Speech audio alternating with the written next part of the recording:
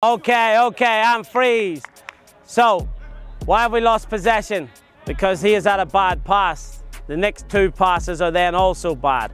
That's why you've got to, yes? Has to be on the floor if possible. Okay, yes? I've put him in trouble. Pass it, I would like to receive it. Get your chest over the ball. Get your knee over the ball. Otherwise, that happens. And that happens. And we're in trouble. Does it make sense?